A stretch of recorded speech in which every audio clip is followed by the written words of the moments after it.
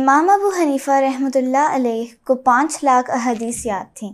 ایک دن انہوں نے اپنے بیٹے حماد کو نصیحت کرتے ہوئے فرمایا کہ بیٹے، میں آپ کو پانچ لاکھ احادیث کا نچوڑ صرف پانچ احادیث میں بیان کر رہا ہوں۔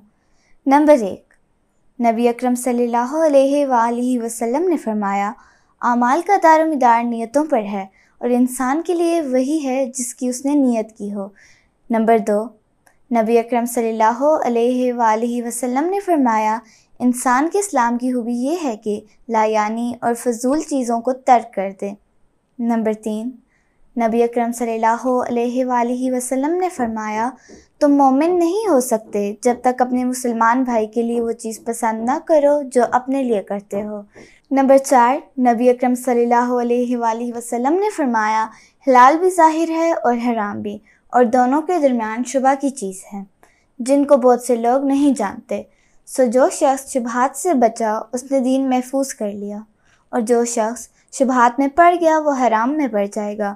جیسے کہ چرواہا اپنے ریوڑ کسی کھیت کی باڑ کے پاس لے جائے گا، تو قریب ایسا ہوگا کہ اس کا ریوڑ کھیت میں بھی چڑھنے لگے گا۔ بلا شبہ ہر بادشاہ نے باڑ لگا دی ہے، اور اللہ کی باڑ حرام کردہ اشیاء ہیں۔ نمبر پانچ نبی اکرم صلی اللہ علیہ وآلہ وسلم نے فرمایا، کامل مسلمان وہ ہے جس کے ہاتھ اور زبان سے کسی مسلمان کو تکلیف نہ پہنچے۔ یہ پانچ حدیث سنانے کے بعد فرماتے ہیں، بیٹا، ان پانچ حدیث کو آئینے کی طرح رکھنا اور اپنے اعمال کا ان پانچ حدیث پر محاسبہ کرتے رہنا۔ یہ پانچ حدیث ان پانچ لاکھ حدیث کا نچوڑ ہیں جو مجھے یاد ہیں۔